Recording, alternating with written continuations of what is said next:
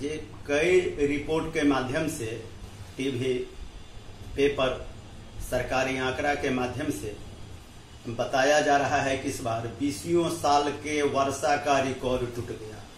बाढ़ और अतिवृष्टि से समस्तीपुर, ताजपुर पूरा परेशान है।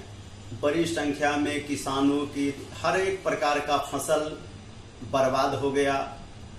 बावजूद किसानों को जो फ़सल क्षति मुआवजा मिलता, वह कृषि पदाधिकारी के गलत, वर्षा से शून्य फ़सल बर्बाद का रिपोर्ट भेजने के कारण मुआवजा का रास्ता बंद हो गया है। इसके खिलाफ अखिल भारतीय किसान महासभा भाकपा माले आंदोलन चला रही है और इसी दौरान किसानों ने तय किया कि बर्बाद फ़सल का, के सवाल पर हम लोग डिजिटल आंदोलन शुरू करेंगे और किसानों ने डिजिटल आंदोलन शुरू किया है।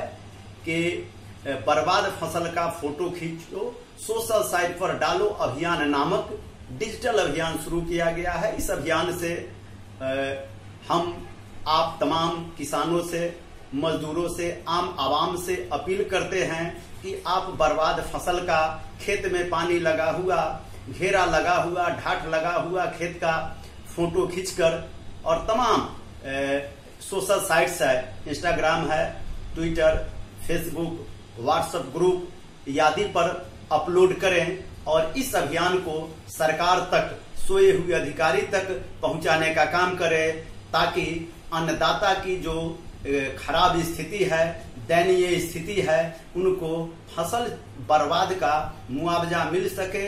एक बार फिर आपसे अपील है कि फ़ोटो खींचो, डालो अभियान में सहयोग देकर किसानों को अन्नदाता को सहयोग दे। सुरेंद्र प्रसाद सिंह, प्रखंड सचिव, भाकपा, माले, ताजपुर।